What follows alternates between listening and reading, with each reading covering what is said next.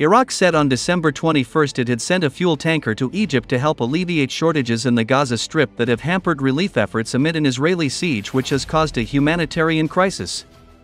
Zayden Khalaf, an advisor to the Prime Minister for Humanitarian Affairs, said the tanker carrying 10 million liters of fuel has left Basra port for the Suez Canal. Bound for Gaza, Khalaf added that the Iraqi government is planning to send further aid cargoes in the future.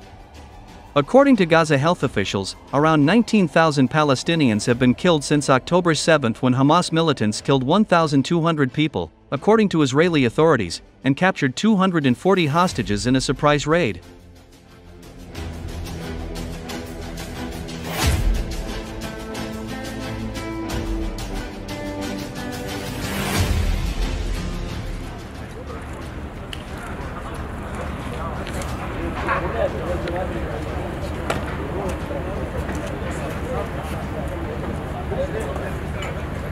خلاص طرحت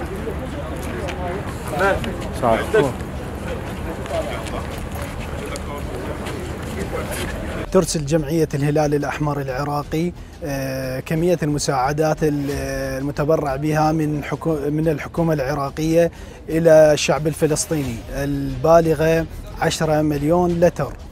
هذه الرحلة ستنطلق آه، من آه، ميناء خور الزبير إلى إلى الهلال الأحمر المصري وبدوره وبدور الهلال الأحمر المصري ينقل الكمية إلى الهلال الأحمر الفلسطيني. تعتبر هذه الكمية أول كمية وقود نقل إلى الغزة.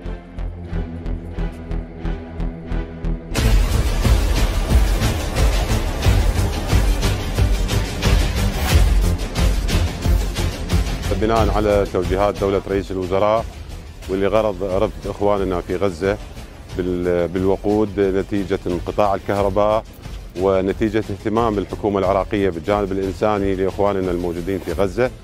آه، ارتأت الحكومة العراقية أن تقوم بإرسال ناقلة محملة بالوقود آه، لغرض رفد إخواننا في في فلسطين آه، بالوقود الخاص بتشغيل الطاقة الكهربائية.